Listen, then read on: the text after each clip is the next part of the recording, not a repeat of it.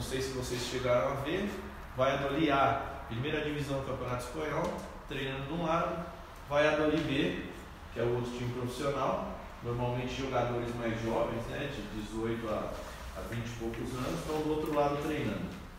Ontem vocês fizeram o primeiro treinamento, adaptação a campo, a tempo, né, a metodologia de trabalho do, do treinador espanhol.